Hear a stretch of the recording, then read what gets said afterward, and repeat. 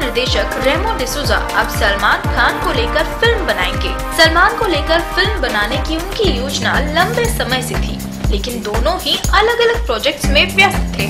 हाल ही में सलमान के जन्मदिन की पार्टी थी, जिसमें रेमो और सलमान की बात हुई और फ़िल्म की शूटिंग 2018 में शुरू करने की सहमति बनी। ये फ़िल्म एक डांस ड्रामा होगी। सलमान के अनुसार वे फ़िल्म में एक डांसर के रोल में होंगे।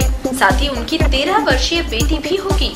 पिता, पुत्री और डांस के इर्द गिर्द फ़िल्म की कहानी बुनी गई है, जिसमें मनोरंजन भरपूर मात्रा में होगा।